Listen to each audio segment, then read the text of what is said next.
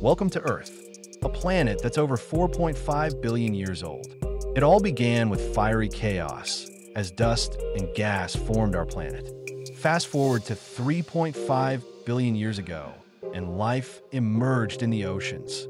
From tiny microbes to complex organisms, evolution took its course. Dinosaurs roamed the Earth for millions of years, but then they vanished. Around 2 million years ago, our ancestors appeared. Homo habilis, the handyman, used tools, paving the way for Homo sapiens. Fast forward to 10,000 years ago, agriculture changed everything. Humans settled down, built cities, and created civilizations.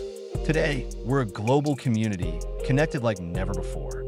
From ancient caves to space exploration, our journey is just beginning. What do you think the future holds for humanity? Let us know in the comments.